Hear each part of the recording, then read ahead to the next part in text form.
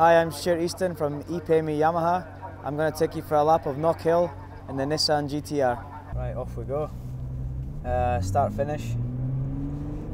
Coming over this hill. Change gear?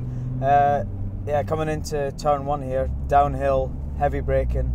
Uh, the rear wheel wants to always leave the leave the road on, on the the heavy braking here.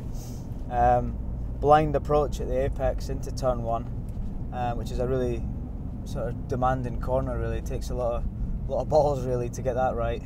Steep descent into turn two here, which is one of the very few left-handers at Knockhill. So you have to always watch the your tire temperature, and, and that's a a really uh, common crashing place. Into turn three, uh, Scotsman I think it is.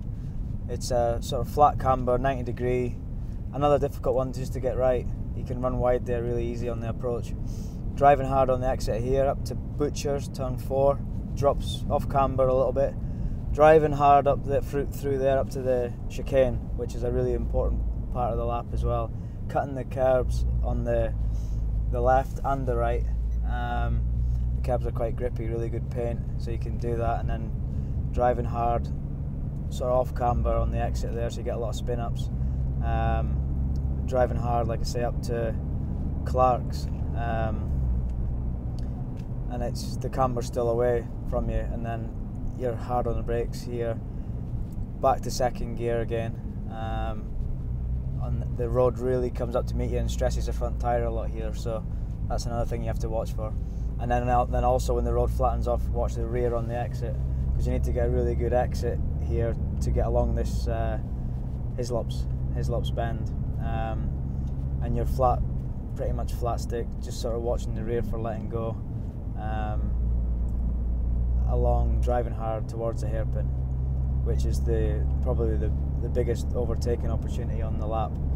Um, fifth gear, sort of just fifth gear, sometimes fourth on some bikes. Um, really, really hard braking into the hairpin, back to first gear, and it's another corner that, that the road really rises up steeply and stresses the front tyre again. So it's quite difficult. But uh, on the exit, you're looking for for a good drive again, crucial up the start finish straight um, to complete what should be a, a fast lap on Knockhill. But um, yeah, every with a short lap like this, every corner is, is really really crucial. Um, there's only nine nine corners in the whole lap, so every one counts a lot.